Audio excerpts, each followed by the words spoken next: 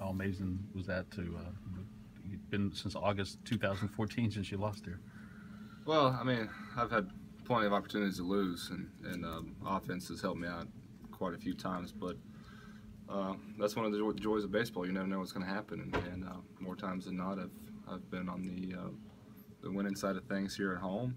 Uh, I have to start a new one up, but uh, that's that's that's that's baseball. I mean, uh, you can be the highest of high and the lowest of low. You just got to kind of stay even keel, and, and um, you know that's what I got to do. Get back to uh, focusing on every pitch and, and making sure I'm doing a good job. Big, big picture, how do you look at the team right now? Adrian was just talking about how, the, you know, the effort's there, the intensity's there. It's just you can't get anything consecutively going. And you know, it's it's one win, one loss, and eight and eighteen now in, early May. How, how do you kind of view where the team's at?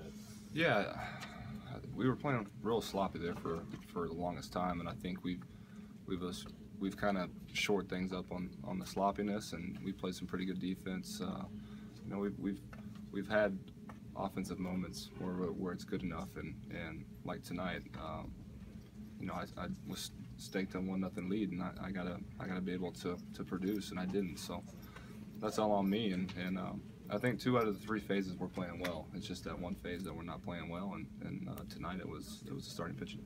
Is this a, maybe a little bit extra frustrating because you guys are pretty much the same team as last year?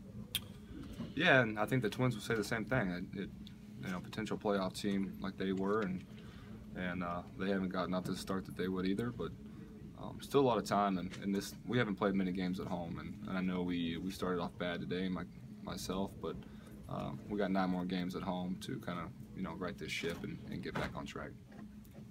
Thanks.